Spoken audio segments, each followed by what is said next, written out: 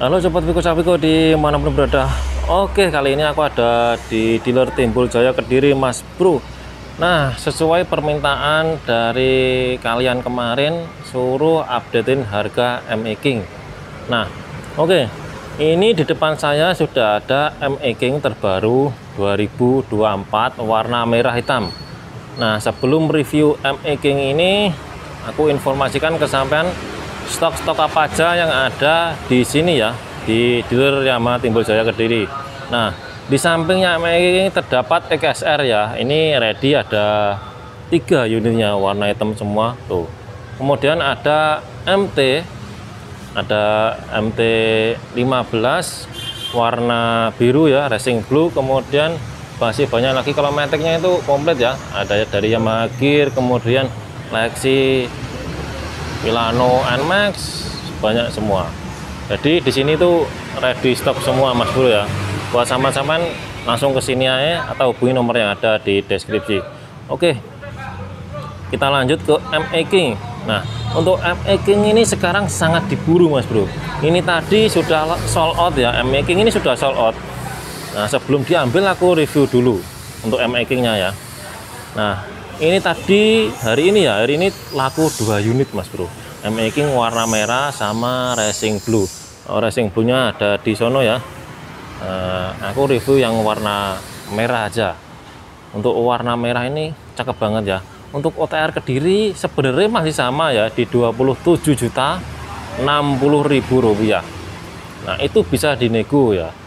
Jangan khawatir. Nah saya bantu nanti sampai bisa DM ke IG saya ya Viko Saviko atau ke TikTok saya juga Viko Saviko nah nanti saya bantu ya untuk pembeliannya. Nah untuk ME King ini sekarang itu laku keras bisa dikatakan kayak gitu. Kita review pelan-pelan untuk ME King ini ya. ME King warna merah hitam. Kita review dari bagian atas. Untuk warna hitam ini covernya ya covernya dibalut dengan warna hitam kemudian di atasnya lagi ada visor berwarna hitam semuk. Kemudian untuk lampunya dia disuplai dari stainless tuh dari stainless ya. Nah ini terdapat lampunya sudah LED modelnya kayak gini. Kemudian di bagian tengahnya dia ada warna corak merah. Di bagian dadanya sini dia berwarna merah. Kemudian ada pemanis ini warna hitam ya. Modelnya kayak gini pemanisnya. Dan di sini terdapat dudukan plat berupa besi. Kemudian di atasnya lagi ada logo garbu talane dan di samping-sampingnya ada garis-garisnya kemudian ada gini ini strippingnya ya warna hitam. Kemudian ada warna birunya ada tulisan Yamaha nya dan di sampingnya lagi ada plastik kasar. Di bagian fairingnya dia plastiknya itu plastik halus sampai sini. Nah, jadi di sini dipisah dengan plastik kasar kemudian dibawa lagi disambung lagi dengan plastik yang halus atau plastik yang glossy. Dan ini bahannya ini tebel mas bro. Bahannya tebel. Aku bisa rasain ya untuk bahan-bahannya ini kokoh. Jadi nggak rempi gitu ya. Ini bahannya itu kokoh. Untuk making aku akuin tebeng-tebengnya itu enggak eh, bunyi-bunyi gitu kak enggak kayak getar-getar gitu enggak tapi ini rapat bener-bener rapat ya untuk making ini kualitasnya just tenang oke lanjut. Dan di sini ya, terdapat sen ya. Sennya ada di sini. Dan ini ada mata. Mata kayak gini ya. Model itu kayak mata lampu tapi mata model mata gitu. Lampu DRL dan untuk bagian fairingnya disambung kayak di situ dijadikan S1 di sini dan terdapat underglow model sini ya. Underglow kecil kayak gini. Berwarna hitam dan ini bahannya itu plastiknya itu plastik kasar. Untuk plastik halusnya sampai sini aja di tengahnya itu plastik kasar dan di bagian sini plastik halus. Oke untuk fendernya untuk fendernya dia dicat warna hitam ya modelnya kayak gini. Kemudian pengirimannya single disc model gini ngebulet. Dan kalipernya satu piston berwarna gold kayak gitu. Nah untuk velg ini yang kurang jos gandos kalau menurut saya ya. Velgnya itu model racing tapi palang 5 gitu loh model ya. Model kayak jadul modelnya kayak gitu ya. Harusnya velg ya itu dikasih model kayak punya ini XSR ini model cakar gini pasti keren parah gitu ya harusnya kayak gini velgnya enggak model gini. Kalau model gini tuh kurang jas ya anda kalau mau saya nah, untuk bannya pakai tubeless ya ukuran berapa ini tadi? Untuk bannya dia ukuran 90 per 80 ya ringnya itu ring 17an disuplai dari IRC untuk yang depan segitu. Ya untuk bagian kokpitnya di bagian kokpitnya seperti ini tuh kokpitnya dia modelnya gini mas bro ya di sini terdapat lampu jauh dekat lampu jauh dekat modelnya gini jadi satu sama lampu tembak Nah untuk nya sudah dilengkapi dengan lampu tembak ya jadi wis mantap tenang ya. Satria review kalah gitu. Oke dan di sini ada sen kemudian ada klakson.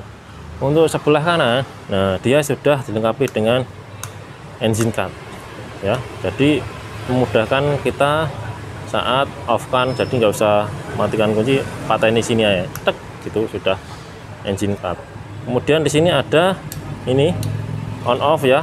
On off nya ini hazard mas bro ya. Ini bukan lampu tapi ini hazard dan di bawahnya lagi ada start engine. Nah jadi tombol-tombol itu aja. Untuk rem ini warna handle-nya hitam hitamnya itu hitam doff kemudian di sini hand grip empuk banget iki. Nah sayangnya sini plastik ya jalurnya sini plastik harusnya besi gitu biar kokoh ya biar kuat. Sayangnya itu. Dan di sini teman bisa lihat untuk sepedonya kotak biasa ya. Dan di sini terdapat tombolnya kayak gini karet. Kemudian sininya dapat kayak pasti kasar ya ini ganteng e, kombinasi permainan-permainan corak-corak itu cakep nah sayangnya di sini sih dia belum ada fitur keyless ya. di spotnya Yamaha memang tidak disediakan fitur keyless ya mas bro. Nah ya KSR pun pakai kunci biasa. Ya tuh EKSR pakai kunci biasa. Making pakai kunci biasa model kayak gini ya. Nah, dan sebelah sini tuh nggak ada apa-apa. Ini cuma variasi ya tuh. nah di tengahnya dicat warna hitam di samping-sampingnya warna merah. Dan untuk bagian cok ya ini depan ini kasar dibuka saya kena kayak gini. Nah, di, nggak bisa. Ya. di depan ini kasar ya kasar kemudian di belakangnya halus tuh. Belakangnya halus modelnya halus. Jadi sini ada pembatasnya. Nah, ini enak. Kenapa aku bilang enak? Karena buat boncengan-boncengan itu yang belakang itu nggak melurut ke depan gitu loh. Jadi ada pembatasnya sini dan di depan itu nyaman M-King kemudian kita lanjut. Bagian ini bagelnya dia dicat berwarna hitam. Kemudian sini ada buntutnya berwarna merah dan ada pemanis logo garbu talanya. Dan di sini terdapat M-Eking tulisan M-Eking ya. Modelnya kayak gini ya M-Eking berwarna merah.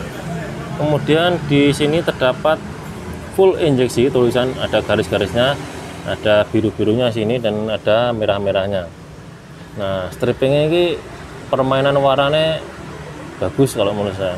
Warna hitam dipadukan warna merah sama biru tuh masuk matching. Jos. Nah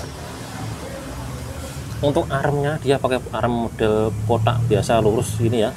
Jadi belum pakai arm banana. Misal dikasih arm banana model gitu wah pasti jos ya yang aku suka ini ban belakang udah gede ya. Ban belakang udah gambut banget ini dia udah kayak motor-motor sport ya kayak punya 15 Bannya sendiri dia ukuran 120 per 70 jadi gede ya ya. 120 per 70 itu gede.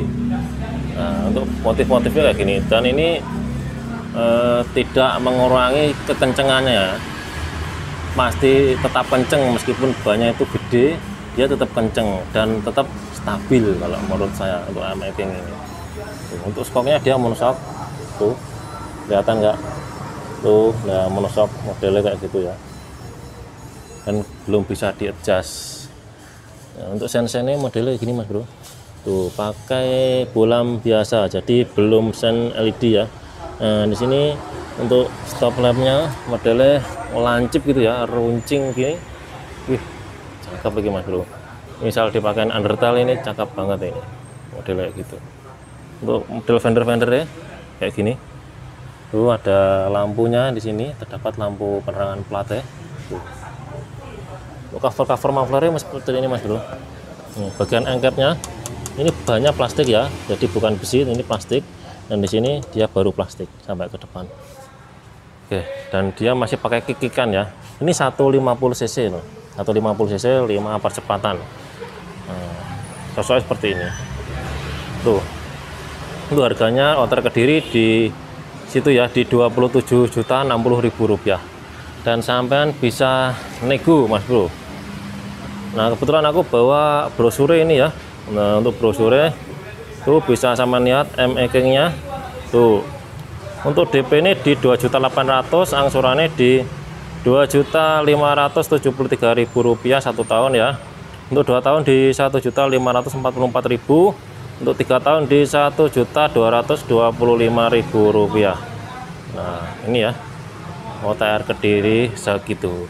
Oke jadi cukup segini dulu aja review saya ini tentang M-Making 2024 oke buat teman-teman yang belum subscribe silahkan subscribe biar tidak ketinggalan info terbaru dari saya. Akhir kata saya Fikus Afiq undur diri sampai jumpa di video berikutnya. Jos tenang